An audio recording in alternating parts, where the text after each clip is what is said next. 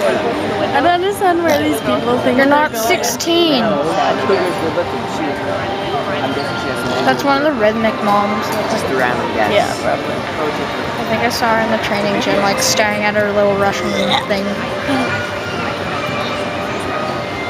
And probably, or she's probably just like an overcrowded mom. Yeah, I can do my routine in two verb tramps. Like the one tramp, well, two verb tramps I can't do it on. Going. I'll Go.